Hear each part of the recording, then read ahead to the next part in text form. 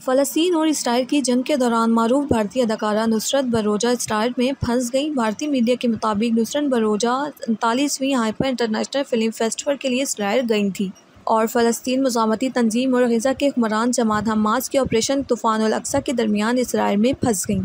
इस film festival में उनकी फ़िल्म अकेली को मंतखब किया गया और गुज्त रोज़ हमास के इसराइल पर वाक़ के बाद बॉलीवुड अदाकारा वहीं फंस गईं। ताज़ा तरीन इतलात के मुताबिक नुसरत की टीम रुकन सुनीता द्रोही ने बताया है कि अदाकारा से रबता कर लिया है और उन्हें बाहिफाजत इसराइल एयरपोर्ट पहुँचा दिया गया है। नुसरत की टीम ने बताया कि नुसरत बदकिस्मती से इसराइल में फंसी हुई हैं। आखिरी बार अदाकारा से गुजशत रोज़ दोपहर बारह बजकर तीस मिनट पर रबता हुआ था। उस वक्त वो तहखाने में महफूज थी। अदाकारा की टीम ने बताया कि उसके बाद उनसे रबता नहीं हो सकता था, लेकिन आज उनसे रबता हो गया है और नुसरत को बाहिफाजत इसराइली एयरपोर्ट पर पहुँचा दिया गया है। अब उन्हें बाहिफाजत भारत वापस लाने की कोशिश की जा रही है और उम्मीद है कि वह जल्दी भारत पहुँचने के लिए उड़ान भरेंगी।